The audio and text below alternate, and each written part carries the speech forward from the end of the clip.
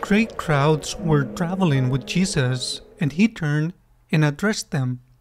If anyone comes to me without hating his father and mother, wife and children, brothers and sisters, and even if his own life, he cannot be my disciple. Whoever does not carry his own cross and come after me cannot be my disciple.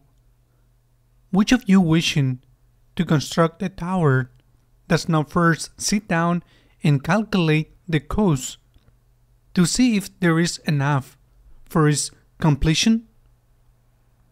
Otherwise, after laying the foundation and finding himself unable to finish the work, the onlookers should laugh at him and say, This one begged to build, but did not have the resources to finish.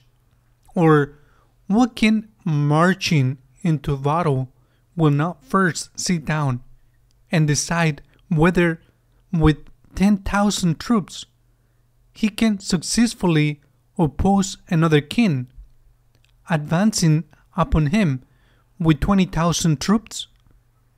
If not, while he is still far away, he will send a delegation to ask for peace terms. In the same way, every one of you who does not renounce all his possessions cannot be my disciple. The Gospel of the Lord. Praise to you, Lord Jesus Christ.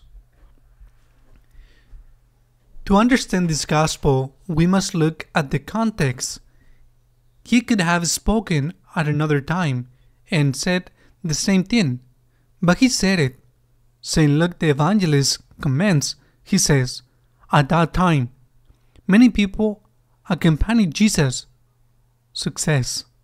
Many people were with Jesus, they followed him. We know that this was what was happening because next he said, he turned and said to them, Many people were following Jesus. And he said to them, Stop. Why do you follow me? On another occasion, he even told them clearly, You follow me because you have eaten bread until satisfied. After the multiplication of the loaves and fish, before following me, you have to be aware of what is following entitles. The Lord knows our hearts. He loved us infinitely, even though He knows our hearts. Nevertheless, He always suffers, and we make Him suffer precisely because we are not capable of being coherent with the following that we might have.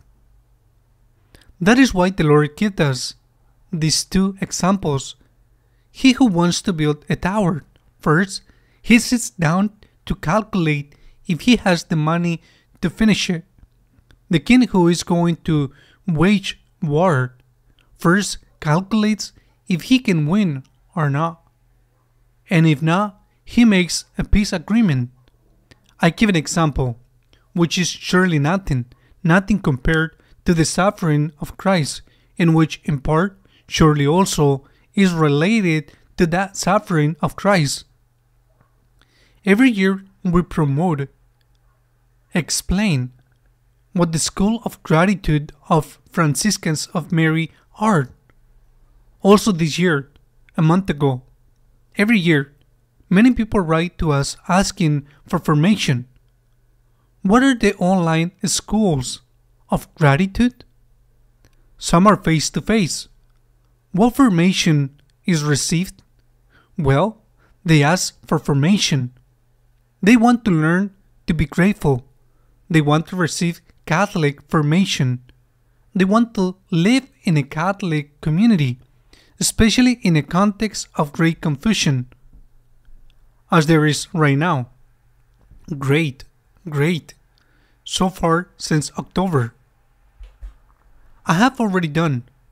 I have already registered more than 800 people, and I still have about a thousand emails left.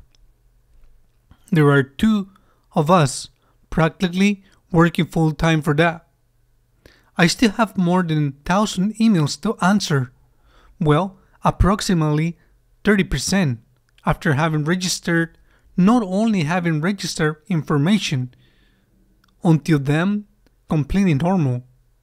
You ask for information about something, you are not interested, you are done. No, after having registered and having said, Oh, yes, yes, I'm interested.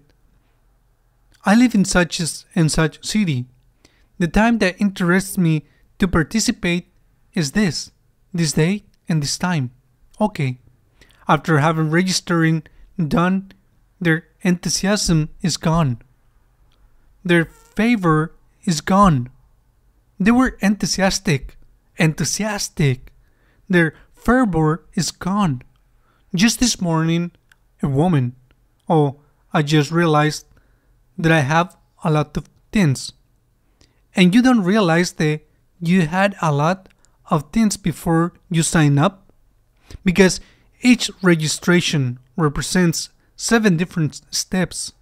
That is approximately between 15 to 20 minutes to register.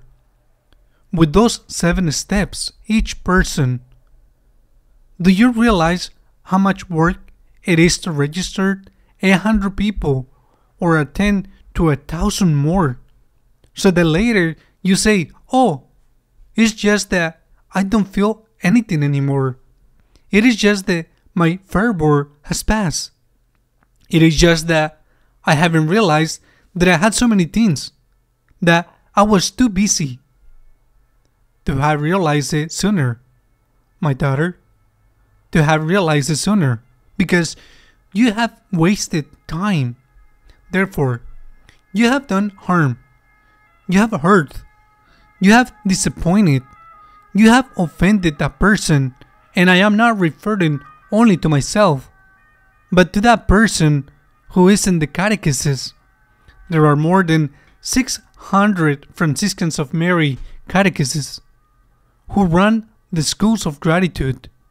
That person who writes to you over and over and over again. You were informed that you had the school of gratitude the day, the time you accepted. I send you the link, the link for you to connect with the online schools. Silence, no answer. Second email, third email from the catechist, fifth email from the catechist. Silence, no response. It's just that my fervor has passed away. This is what Jesus is referring to. The feeling is one thing, sentimentalism is another one that has nothing to do with feeling or love. Sentimentalism is an offensive because the feeling has to be translated into works, while sentimentalism is something that promises and does not fulfill. It serves no purpose other than the cause of harm. The words of Jesus, who was surely tired of so many sentimentalistic, well, Jesus' words are very clear. The man who is going to build the tower, first he sits down to calculate, to estimate. Let us see. Dear lady, before you sign up, you need to know that you were very busy, right? that you are so important, so extraordinarily important, but you already knew that you were so extraordinarily important before you signed up. Let us thank God things seriously, because otherwise we do harm. The first one who harms is the Lord. He's the first one we harm. We promise Him and then nothing. Jesus says in today's gospel is very clear and very harsh. Everyone among you who does not renounce all his possessions cannot be my disciple. If anyone comes after me and does not put aside his father, his mother, his wife, and his children, and his brothers and sisters, And even himself, he cannot be my disciple. You have to know this, we say. Well, but I, I have had a temptation. I have had fall. Very well. Then get up from that fall and keep walking. I've had had bad strike. I have had a bump. Get up from the hole and keep walking. However, we are talking about something else. We are talking about a sin. We are talking about sentimentalistic. You cannot build absolutely nothing with sand, except for the sand castles the children make on the beaches and that the first wave that comes wipes it away. That is what sentimentalism is sand, which can have an appearance, is worthless. You need to build at least, at least, with retractor paving stones, at least. Not to mention if you use cement concrete beams and iron beams, steel as support. Do you want to follow Jesus? Really? Really? Think it through. Think it through. Don't tell Jesus, yes, yes, yes, and then, oh, it is yet that my fervor has passed away. I don't feel it anymore. Do you really want to follow Jesus? Listen to this gospel. He who does not postpone everything cannot be my disciple. Do not carry a weight by the emotions of a moment. Do you really want to follow Jesus? Put him in the first place in your life.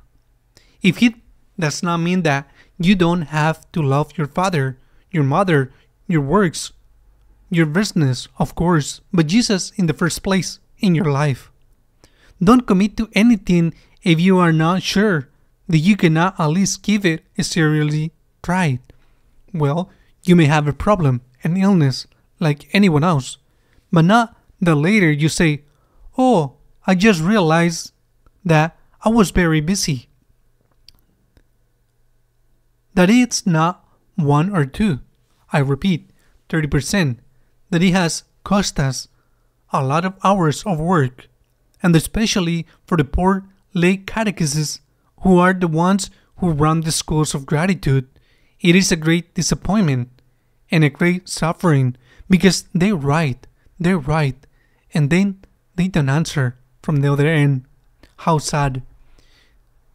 Are those people who are offended? It is Christ present in those people who is offended. Welcome to the following of Christ. Welcome.